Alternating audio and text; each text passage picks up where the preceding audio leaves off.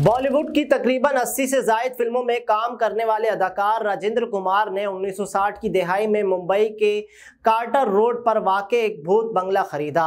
भूत बंगले के नाम से मशहूर इस महल नुमा घर को बाद उन्नीस में राजेश खन्ना ने खरीद लिया था। राजेश खन्ना ने अपनी आखिरी सांसों तक इसी बंगले में रहे, जिसका नाम इन्होंने आशीर्वाद रखा था।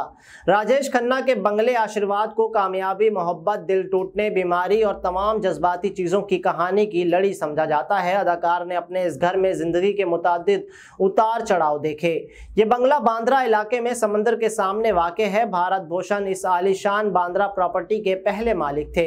मुबैना तौर पर इन्होंने इसे 1950 की दिहाई में ख़रीदा था, लेकिन भारी नुकसान की वजह से इन्हें यह बंगला बेचना पड़ा था। यही वजह थी इस बंगले को आसेब ज़दा या भूत बंगले का नाम दिया गया था। इस मशहूर प्रॉपर्टी को इसके मकाम और ज़ाहरी गंदगी के सबब कोई ख़रीदता नहीं था। बाद इस प्रॉपर्टी ने बिलाखिर राजेंद्र कुमार की तवज्जो हासिल कर ली, जिसने इसे एक दोस्त की जानब से मिलने की तजवीज़ के बाद साठ हज़ार रुपये में ख़रीदा। पैसे की कमी के सबब राजेंद्र कुमार ने फिल्मसाज बी आर के साथ एक मुहिदा किया। राजेंद्र ने पेशगी अदायगी के लिए एवज तीन फ़िल्मों में काम करने की रजामंदी ज़ाहिर की। राजेंद्र कुमार ने इस बंगले का नाम अपनी बेटी के नाम पर डिम्पल रखा था। कामयाबियाँ समेटने के राजेंद्र कुमार ने पड़ोसी में, पड़ोस में एक और बंगला खरीदा और इसका नाम भी डिम्पल रख दिया। अपने बॉलीवुड करियर को कायम रखने के लिए राजेश खन्ना ने इस प्रॉपर्टी को एक उम्मीद अफजा सरमायाकारी के तौर पर देखा। राजेश का मानना था, ये बंगला खरीदने के बाद राजेंद्र कुमार की कामयाबी इन पर असरअंदाज हो जाएगी।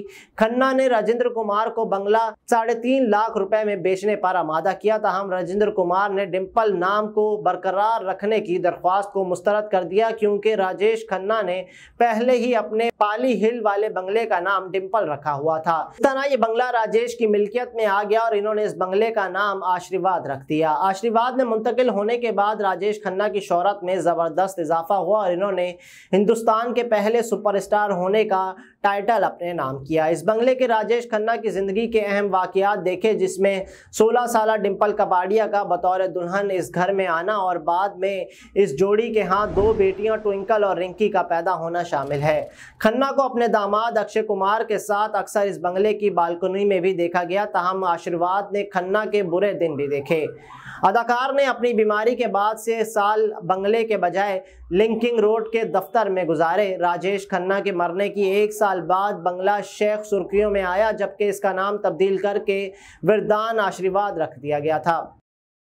मुबैना तौर पर नाम तब्दील करके अनजानी अदाकार की आखिरी ख्वाहिशात को पूरा किया गया था। राजेश खन्ना की आखिरी ख्वाहिश थी कि आशीर्वाद को एक म्यूज़ियम में तब्दील करना था, जिसमें इनकी यादगारें मौजूद थीं। इनकी मौत के बाद इनकी मुबैना साथी अनीता अडवाणी को इनके ख़ानदान ने बेदखल कर दिया, जिसके नतीजे में जायदाद की फ़रोख पर कानूनी तनाज़ा खड़ा हो गया और आशीर्वाद, जिसकी मालियत कभी दो सौ पच्चीस करोड़ रुपये थी। दो हज़ार चौदह में सनतकार शिशीकरण शेठी ऑल कार्गो लॉजिस्टिक के एग्जीक्यूटिव चेयरमैन ने नब्बे करोड़ रुपए में खरीद लिया। राजेश खन्ना की बेटियाँ ट्विंकल और रिंकी इस जायदाद की वारिस थीं, जिन्होंने इसे अपने वालिद के इंतकाल के दो साल बाद ही बेच दिया था।